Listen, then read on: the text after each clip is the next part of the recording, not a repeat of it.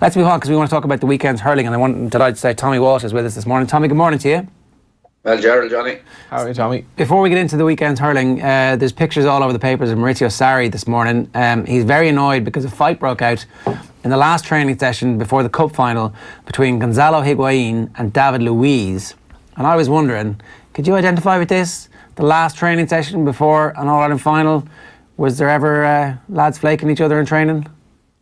I presume you're saying that with sarcasm, Jared.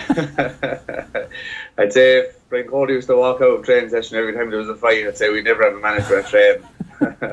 but I suppose there's, there's a big difference. Um, I don't know what happened in the Chelsea training ground, but I suppose ours was all honest and kind of it was in the right spirits. There was never any nasty stuff. There was never any stuff done with bitterness or anything like that, which would be a total different scenario. So all our stuff was healthy. We were all able to go into the dressing room, have the crack, have the laughs afterwards. There was never maybe untoward. So there is a difference, I suppose, if there's if there's kind of maybe two rivals there in training and they're just kind of having a go at each other. That's probably not good. So um, it depends on the situation. But yeah, no, the the last training session, especially for the big games, they were different, I suppose, in in, in the hurling that you're playing for your position on the field.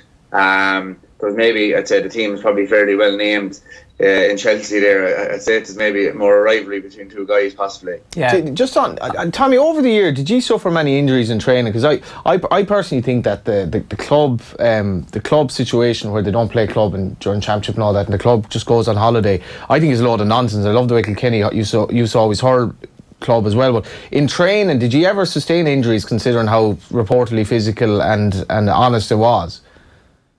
Yeah, well, I think most of the injuries that, that happen really nowadays are more kind of um, hamstrings and grinds, and lads are pushing their bodies to the limits now, Johnny. That any little kind of um, offset at all, you're kind of in trouble. Towards one time, you had a bit of leeway that no one was, will say, 100% fit. You know, no one was taking to their bodies to the absolute limits. So any kind of a niggle at all, it didn't really matter as much. Towards now, guys are so finely tuned that hamstrings, grinds, cruciates, it's much more easier to happen. Like say that time when I started was around 2000 and we'll say two with Kilkenny. You trained probably three times a week. Towards now you're training seven times a week. So I think there's a big difference in the demands guys are putting on their bodies now. But as regards hitting each other in training and the physical stuff, there was never really any injuries. Um, because like say if you take soccer or, or that, you're putting in your ankles, you're putting in your, your legs for any tackles uh, in training towards. And hurling, really, it's just the hurling. Hurls are so light nowadays, and and that that you get belt of a hurl, it might be sore. you know, you're not really going to come out with too much of an injury. Bar a guy tries to maybe you know, do you really? and on that, uh, let's talk a little bit about um, Davy Fitz the weekend. He's coming from some criticism from um, Brian Lohan in the papers this morning. Brian Lohan was doing the uh, the tour of the Legends tour of Croke Park, and obviously they're former teammates, but there has been a bit of history between them when they were both involved with uh, LIT and UL. And um, Brian Lohan had previously called for a root and branch examination of Clare hurling after Clare went out of the championship, and Davy apparently thought this was um, kind of aimed at his dad, who obviously was centrally involved in, in running Clare GAA for a long time. So there's a bit of bad blood between them, and you have to put that in context on it. Um, is he right though? Like, is are Davy's antics actually a distraction for the players? Do you think? Again, like it goes back to really um, how it's kind of put in, put out to the team. Like if you go back to that example you gave at the start of the show about Sarri walking away from Chelsea, like when a guy does that now, it kind of sends out bad messages that there is bad blood and it is affecting the team. Towards say if a manager, you know, say maybe looked at the bigger picture, he might be seething inside, laugh it off, and off you go. Say, "Oh, this is great. Um, we're showing our hunger. We're showing our fighting spirit before the biggest game of our season, the Europa League final." But then that's a kind of a, a different slant to put on it. But I'd say the same with Davy Fitz. If if you start putting the slant on it, that it's not good for Wexford. It's it's t- it's, it's kind of a sideshow. It's taking the the I suppose the limelight away from the players. Suddenly, then that starts creeping into guys' heads. Uh, it might creep into maybe the family's head. It might uh, creep into the the guys that are in your club, their heads, and suddenly it all starts uh, feeding through to the players. Towards if it's put out there that no, it's brilliant and that it's, it's really uh, you know they were, they were in trouble at the time that Davy Fitz did that, and you could put the slant on it that he really kind of revitalised the team and he got them fighting again. So, Jer, I think it just depends on what slant you put on it. But um, you know, he was put off the other day, and I think it's more of a an issue for the the I suppose the wider GA in that do we send out a message? Um, now I'd say not now. It's too late now. You send it out before the next game. So it's all has to happen is John Horan or the president of GA comes out and says, or the, or the referees association comes out all over the media all week and say, listen, anyone now, no matter who you are, whether it's the club or whether it's the county, anyone that goes up to a, a third official, you know, in any sort of a way, is you're gone. And just, you know, it's, it's like the rugby really. I always put it down to the consequences, Jared. If you think there's massive consequences, you won't do it.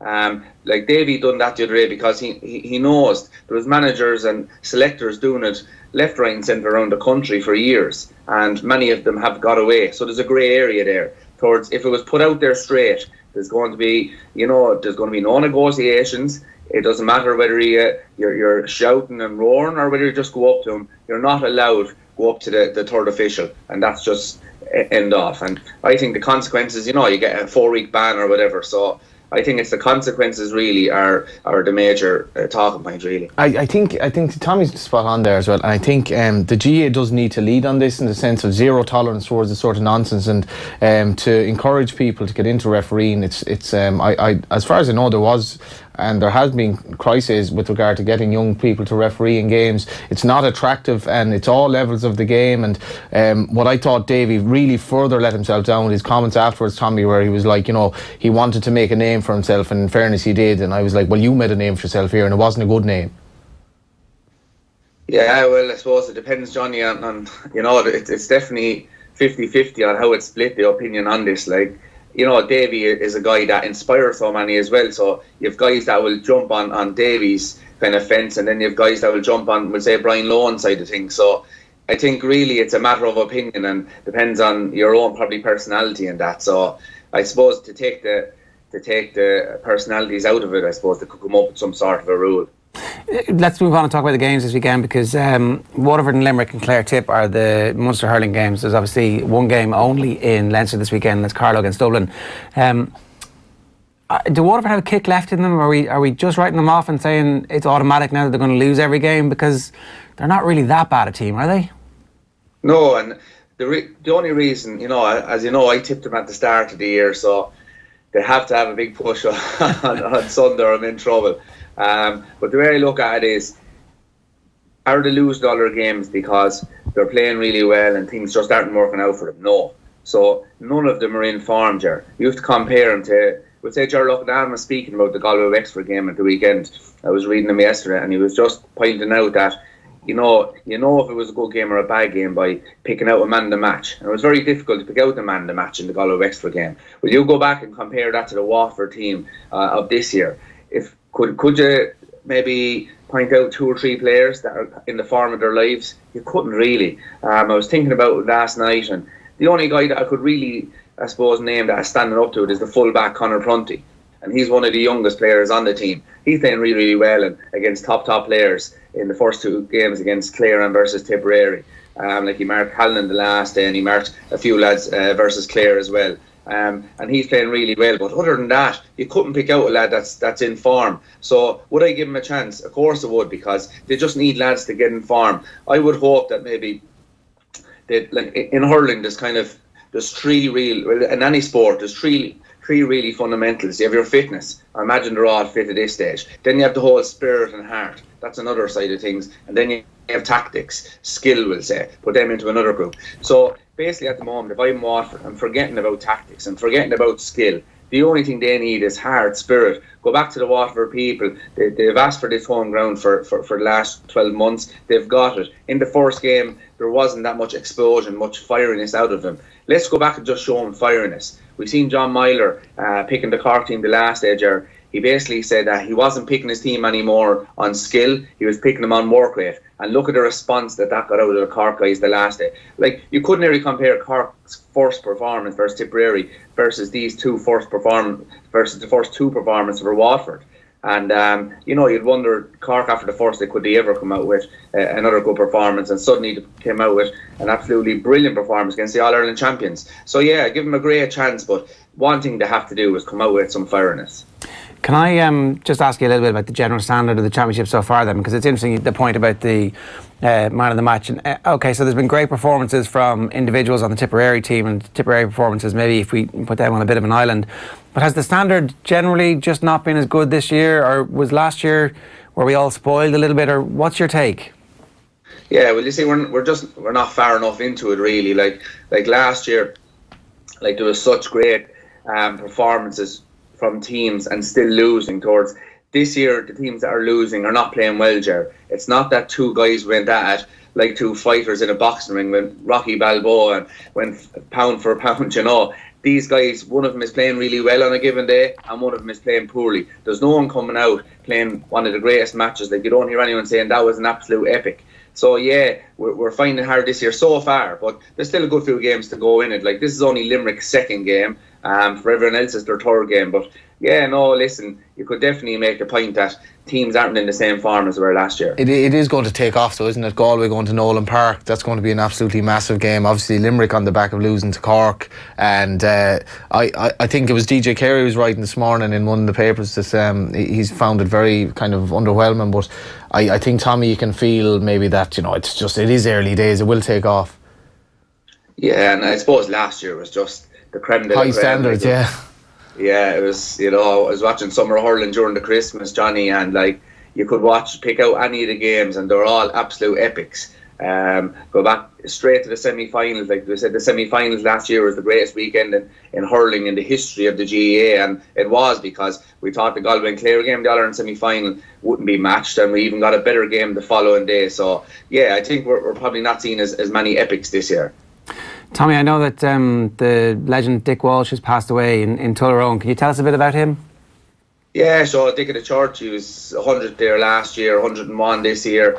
Um, just a fantastic uh, character in the parish. Like uh, I was kind of explaining to the the local radio station the other day, like when I got to know him, he was in his 70s, which was in the early 90s, and he's still going to, to, to as far as today. You'd be talking about, I heard you, speaking about the, was it the dairy guys and, and maybe you know, expenses and you know the, the, the amount that is spent on teams. But you have physios, you have your masseurs, and that. Dick the Church was our masseur back in the in the nineties. Just a local guy, seventy years of age. He had a you know some sort of a concoction in an old bottle that he made up at home, and you know you didn't ask any questions, and he just rubbed that into you, and anyone that wanted a rub got a rub, and that's the kind of character you're dealing with. Like he played in the 47 county final at Tullaroan won. So that's the kind of time span you're talking about with this guy. Just an absolute brilliant character. And like if you shook his hand, you'd be there for 10 minutes and you, you, you'd, you'd be questioning your toughness after because you'd have a sore hand coming off. So yeah, he was one of these guys and uh, just really, you know, I suppose he, he was a role model. Like people, you know, speak about us guys that, you know, we love where we're from in Tullaroan well, we got that from the likes of him because he was just a Tullaroan man out and out, and he was the role model for all of us. Tommy, great stuff this morning. Thanks a million for joining us. Thanks, guys.